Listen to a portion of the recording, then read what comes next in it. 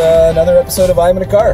And I have the pleasure of having Frank Newman with me, so thanks for joining us. Well, thank you very much. and It's great to be here, Rob. Uh, I've been been watching you for some time, so this is this is like a big moment for me, actually. Awesome, that's great. Well, it's Yeah. a ton of fun. This is probably one of my uh, favorite highlights of the week is being able to take a drive and talk to entrepreneurs.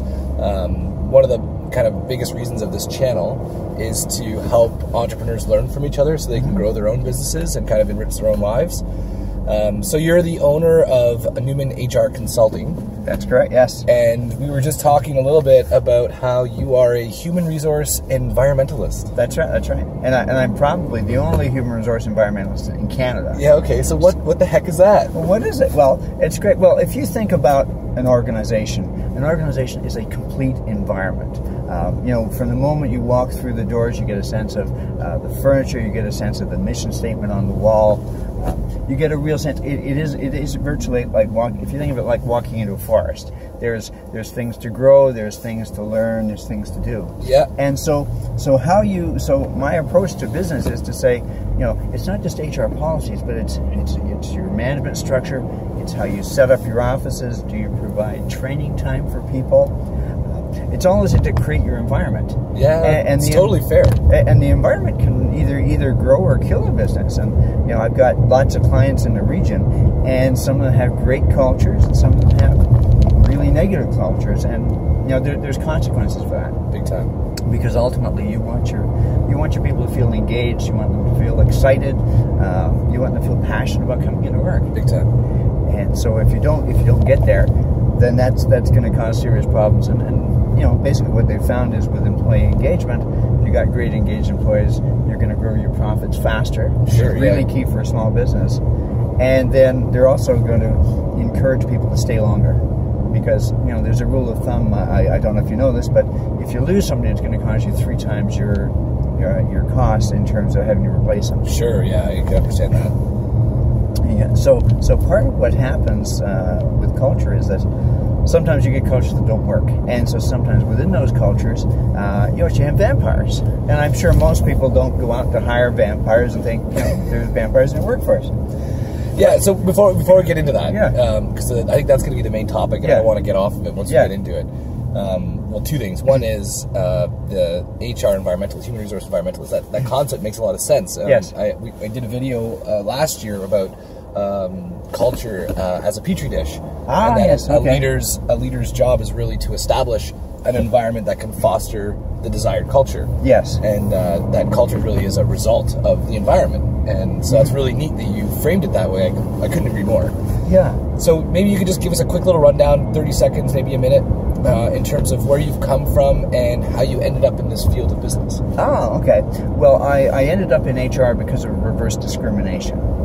So, so basically, when I started, when I left university, I was looking for a job, and I approached an oil company, and they said, "Well, we've got all these ladies in HR. We need a guy." and so I couldn't type. I was absolutely hopeless at most things in the office, but they hired me anyway. Yeah, nice. And so I was one out of uh, uh, five people in the five ladies in the office, and, and grew my career from there.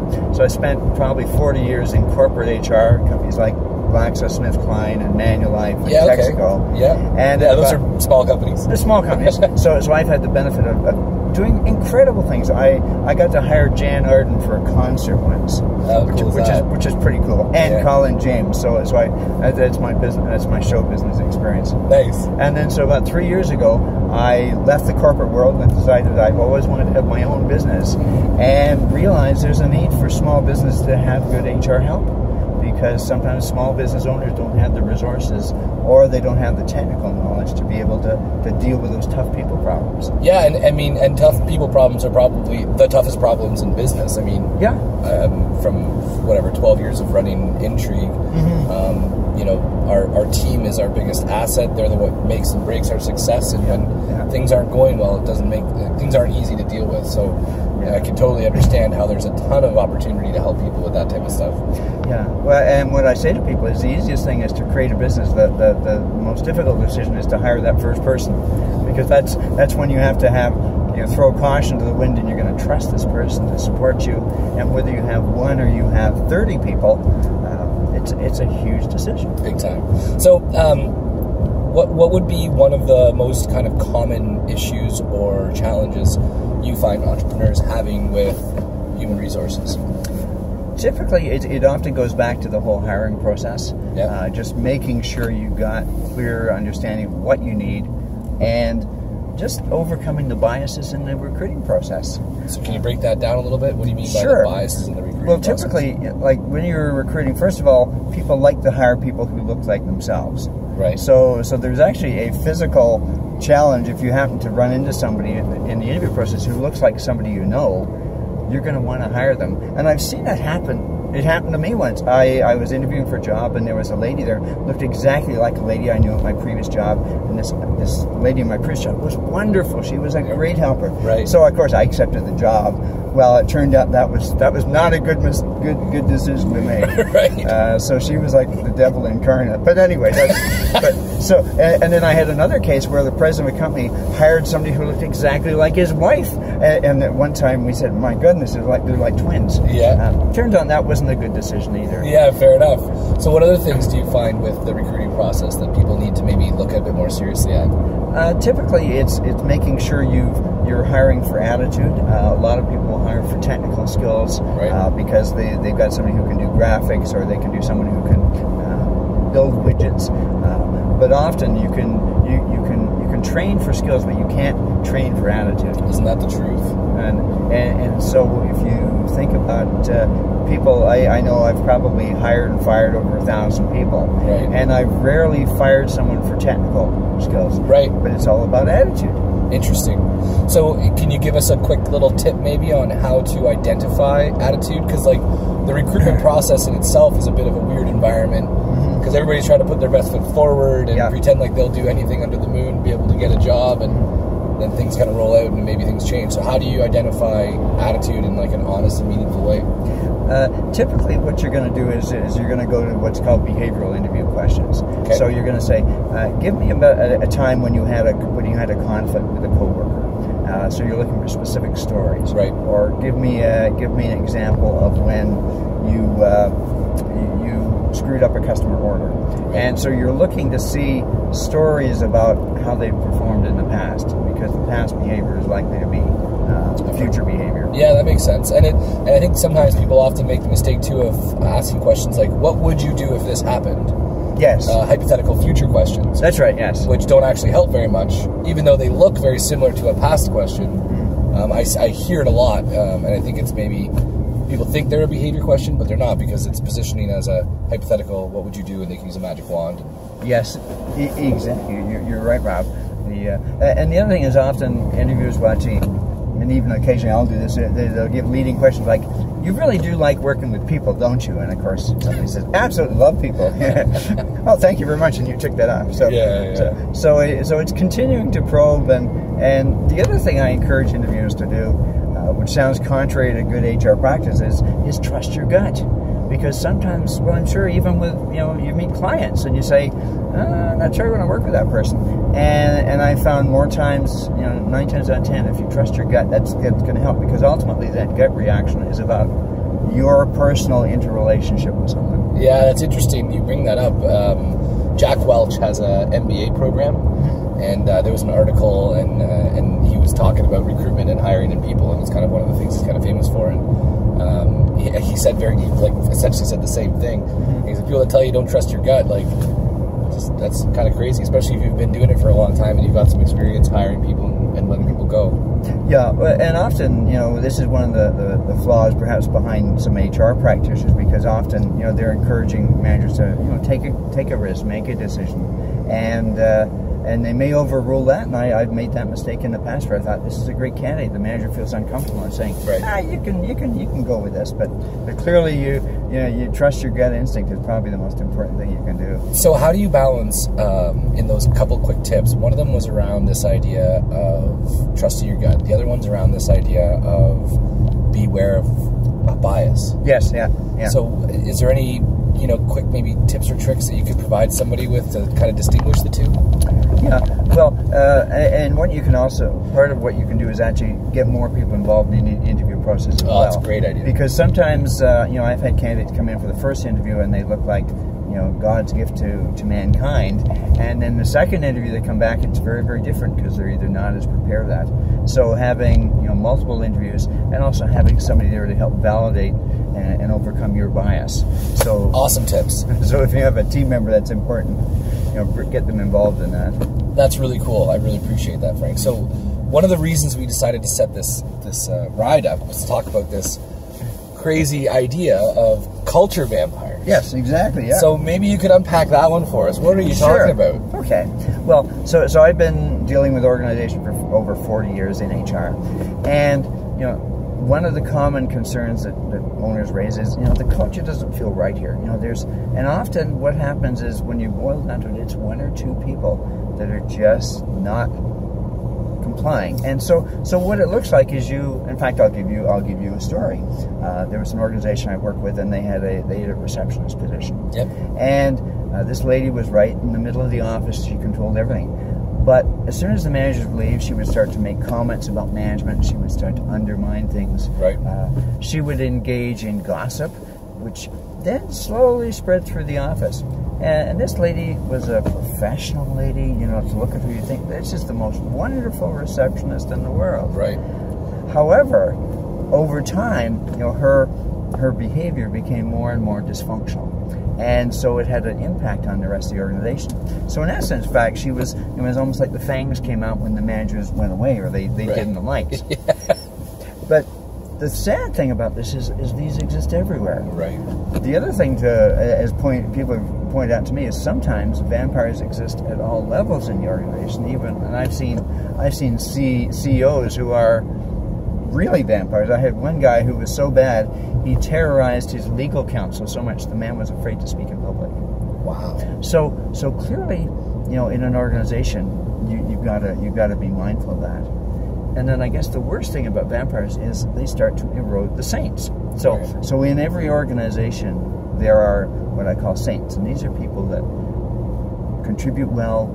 Uh, they, They the embody the vision and values of the company. E- Exactly. Yeah. They, uh, you know, these are the people you wish you had a million of them. You know, if you if you had nothing else, you just fill the fill the room up with these people.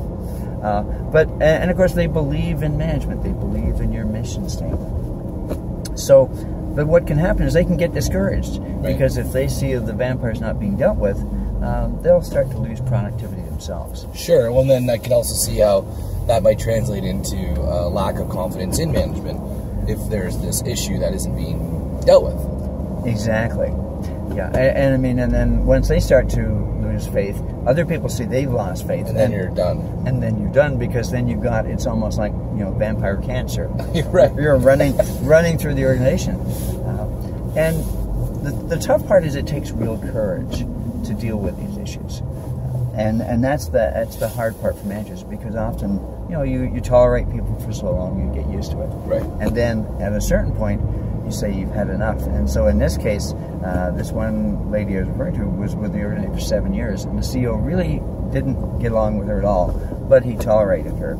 So eventually, uh, we decided to have her leave the organization, and we did it very respectfully in that. Right. And then over Christmas, he phoned me up and said, "Frank, that was the best decision I could have made. The office is so much happier now." Right.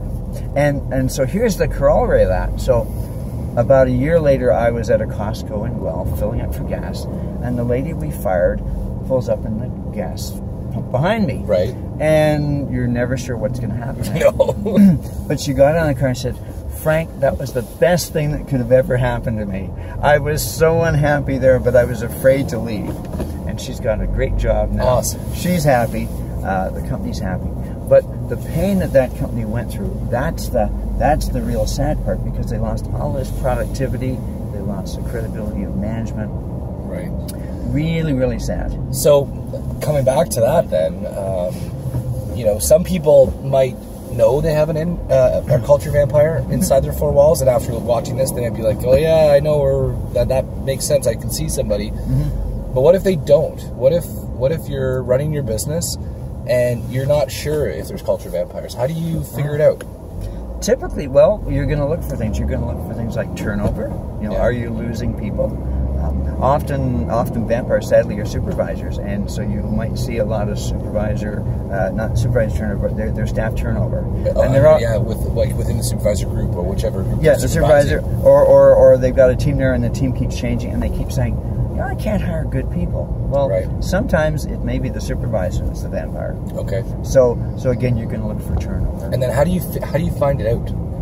Like if, if if there's a supervisor, let's say let's take this situation, and I'm really looking for a practical tip if you Yep. can, if you if you're willing to give it away. yeah, yeah. But I know that okay, there's a group, there's a team of twelve. The team of twelve, there's been some turnover. Maybe two or three people have left from that team over the course of the last six months, mm-hmm. which would be like pretty aggressive turnover. I've identified that there could be an opportunity for a culture vampire. What do I do? Okay. Well, so typically, what you're probably the, the the first thing a manager has to do is make sure they connect with their people. Okay. So again, you know, making sure you're having regular dialogue with your people and, and being open to that. Okay. Uh, because the key thing is, is for the manager to be approachable in that. So if the manager is approachable, it's it's more likely the employees will confide in them in terms of this is what's happening in the organization. So you've got to the manager's got to be able to make sure he's building trust with his people all the time. Right. Uh, and then that way he's going to find out more. But, if, but again, if, if the manager's not trustworthy, they're probably not going to rat out the vampire. Right. You know.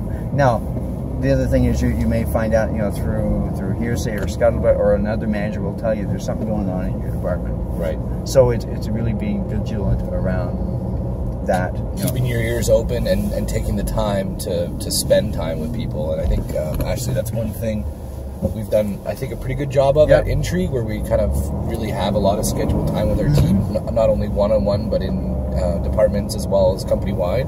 Yeah. Um, but I know a lot of people, when we talk about the model we use, kind of like say, how do you get the time? Like, where do you find the time to do that kind of stuff? Mm-hmm. Um, and our kind of answer has always been like, well, we don't, we can't afford not to do it.